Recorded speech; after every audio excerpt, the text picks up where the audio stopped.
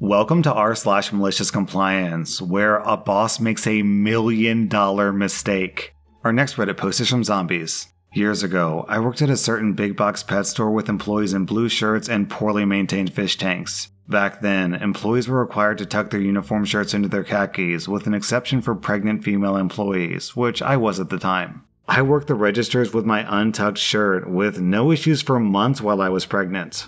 When I was eight months pregnant and just a few weeks shy of going on maternity leave, we got a new manager who was painfully clueless and stupid. Isn't that always the way? So one day, this manager calls myself and the other main cashier, who was also pregnant, into the office. The manager told us that we were fine cashiers, but our uniforms were lacking. The other cashier and myself were just like, huh? Because we both had our khakis, uniform shirts, and black sneakers. Everything was neat and clean, so we both had no clue what he was talking about. I asked him what he's talking about, and he replied that our shirts have to be tucked in.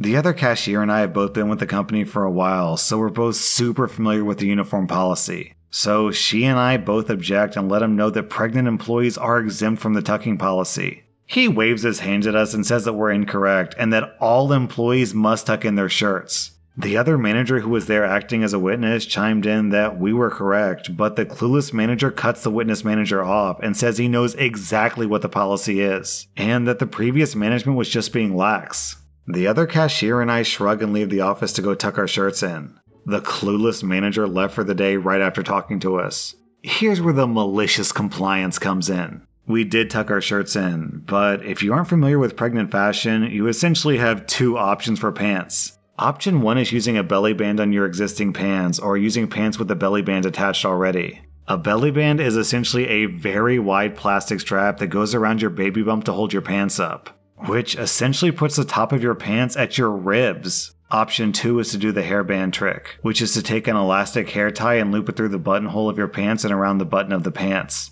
This gives you a few extra inches of waist room in your pants to accommodate the baby bump. It also exposes your underwear and your lower abdomen since you can't zip your fly.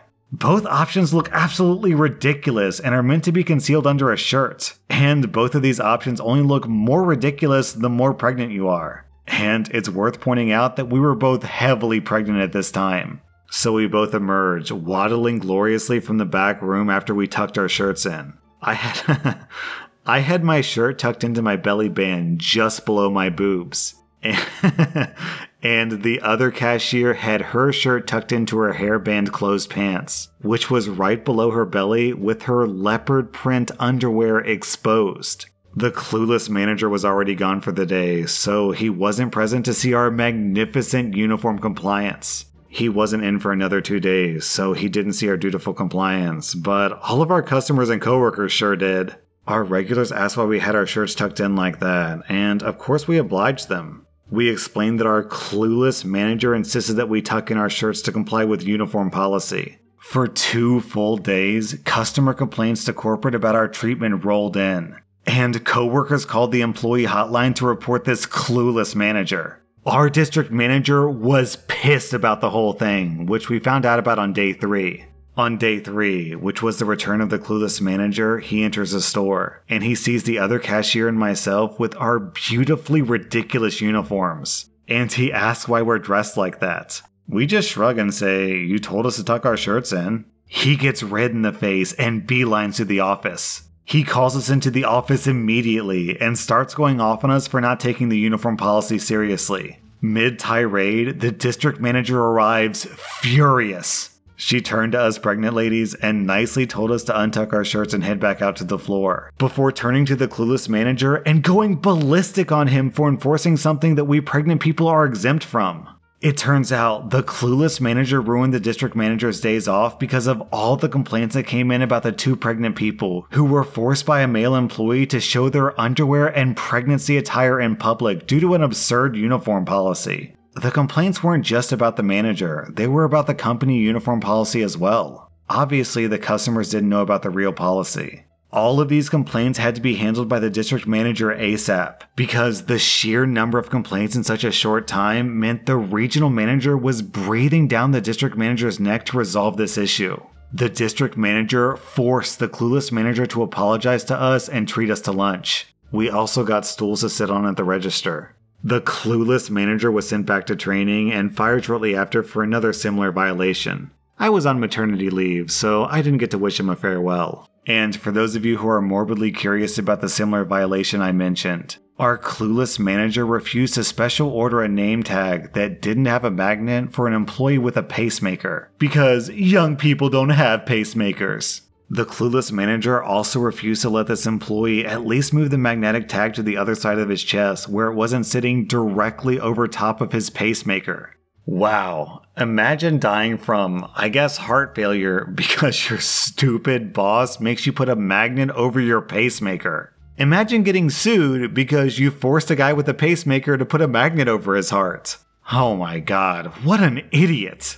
Our next Reddit post is from Dishwater Dreams. When I was in high school, I got a part time job as a hostess at an Italian restaurant with a friend of mine. The restaurant was only open five days a week for dinner. The restaurant was fairly new, so it was already filling every table every night because the food was amazing. In addition to my friend and I being the only two hostesses, I was friends with the bus boys, half the waiters, and a dishwasher. The owner's son was the floor manager, and with the success of the restaurant, he started to implement new changes. He said that everyone must look presentable and in uniforms at all times, no dirty uniforms, even for the busboy. He was rather rude to the employees and would hover and take over our jobs right in front of the customers, apologizing for our inability to do our jobs correctly. However, everyone there was fantastic at their jobs. The dishwasher even found creative ways to stay clean and tidy. The straw broke one night when my friend and I were both working the hostess stand on a packed Saturday night. The manager walked up to us and said that our hair was not compliant with dress code. Both of us had our hair pulled back in the requisite buns. However, we both had a few stray wisps. You know, those tiny little new hairs around your face. Never mind that it was a hot August and we were all working as a team like crazy to make sure the night ran smoothly. We were sharing duties like bussing tables and running food and drinks. The manager loudly fired us on the spot in front of the entire restaurant and front staff. He then said that we were required to continue to work for two weeks and train our replacements. I asked, Are we fired? He said yes. And I said, Being fired means that we don't work for you anymore. We walked out, punched our cards, and went to change out of our uniforms. When we left the dressing room, there was a line of people waiting to change, including the bus boys, half the waitstaff, and the dishwasher. They were all so mad about what happened that they quit on the spot. No one liked the job anyway. We all went to IHOP to eat, and we were soon joined by the rest of the waitstaff and the line cooks. So all that was left of the entire restaurant staff was the bartender, the owner slash cook, and the manager. I later heard from the owner that he just shut the restaurant down because the only reason why he started the restaurant in the first place was to give his son a legacy from the family business in Italy, and he decided that his son couldn't handle it. Oh my god, what an idiot! You're fired, but you have to keep working the rest of your shift. And if I don't, what are you gonna do? Fire me? Our next Reddit post is from Formal Negotiation. I used to work as a solo pastor of a medium sized church in a large southern city. One unhappy side effect of being a solo pastor is that when your phone rings, you answer it, even if you don't recognize the number, since you have no idea how important the call could be. It could be a church member's grandkid whom you've never met calling to tell you that Miss Bessie has been diagnosed with some horrible disease. Or it could be a church member who just wants to talk your ear off for two hours. So earlier this evening, my phone rings, and since old habits die hard, I answered it. Hello? Hey, what are you up to? I want to be clear before I proceed that I did not recognize this lady's voice. But I just assumed that she was a former church member or a member's kid or grandkid or something, so I was cordial. Not much, honestly. I actually just walked through the door with some food. How about you? I'm hanging out with Becky. To be clear, I don't know a Becky. I said, Great, I'm sorry to have to ask this, but with whom am I speaking? I don't recognize your voice, and I have no idea who Becky is. Ladies and gentlemen, apparently that was the wrong thing to say. Darren, you know who this is. This is Jessie. Well, Miss Jessie, I hate to break this to you, but my name isn't Darren, and I don't know any women named Jessie. I think that you've called the wrong number. No, I didn't. This isn't funny, Darren. Did you leave your ringer on again and you're worried that your wife is going to hear us talking? Ma'am, I'm very sorry, but I know that you've got the wrong number. I want to come over there and tell her all about us and how you've been screwing me behind her back for two years.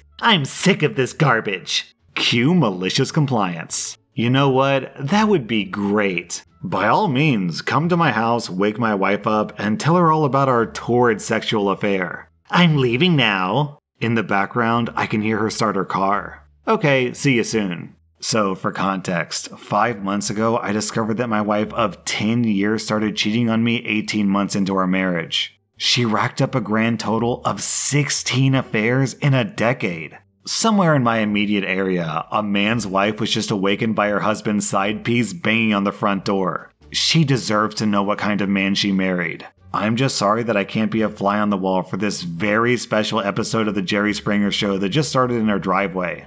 Our next Reddit post is from White Lady.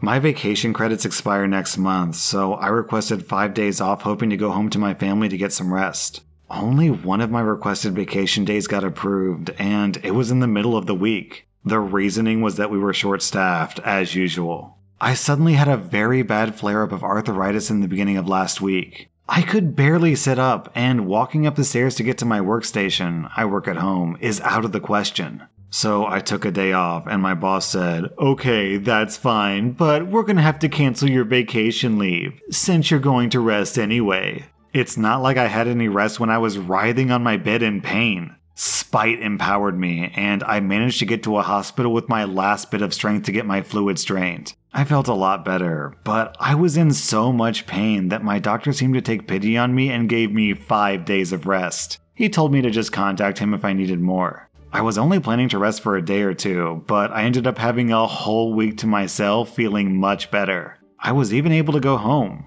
The best part is that it was all paid leave, since I also have plenty of sick leave credits and there's nothing they can do about that. Our next Reddit post is from Rustic Whiskey.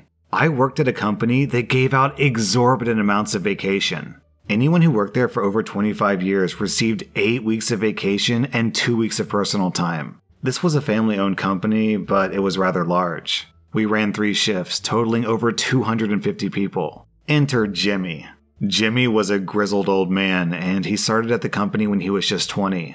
Jimmy was also one of the few people who knew how to make a specific part for our product. It was just him and one other higher up in the office. One day, the company owner comes out and announces that he's selling his business to a corporation. He's older and he's ready to retire, and he promises that there will be very little change and he wishes us all well. The new company comes in and immediately goes after many of the great benefits that we had. The first thing they do is they cut everyone's max vacation down to four weeks and completely got rid of personal time. Anyone who was maxed out had until December 31st of that year to use it up, and they wouldn't pay it out. Then the new owner started cleaning house, firing anyone who was close to retirement, including Jimmy's backup. But they also got rid of one very important rule. You no longer have to get vacation approved, you can just call in and take it. Jimmy is pissed, and they know it.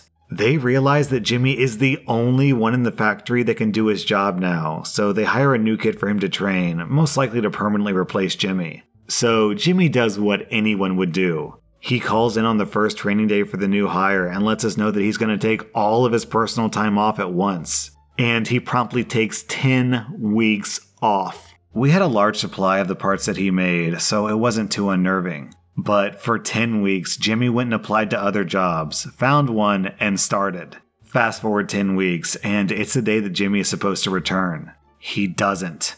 For two days, they try calling him, and they even go to his house. But he's nowhere to be found. Finally, on day three, he calls and quits, and they lose their minds. The parts that he makes are specialized and patented by the original founder. You can't just hire someone off the street to make them. What eventually happened was they had to contract the original owner to come in and teach some new hires how to make them. And when he found out what they had done, it pissed him off.